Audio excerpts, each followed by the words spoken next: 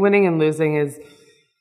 you learn so much from both experiences and being able to have that perspective in the moment is so challenging but um, i don't know i guess for me when you lose a game like that like an ncaa final um,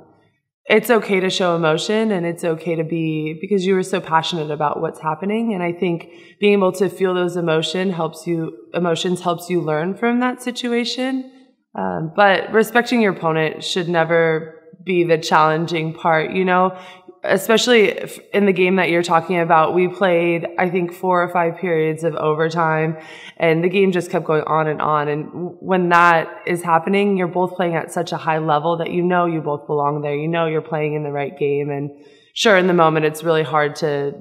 think those things. But um, after the game, just taking a step back and knowing that it was one of the best NCAA championships that's been played, um, and being able to realize that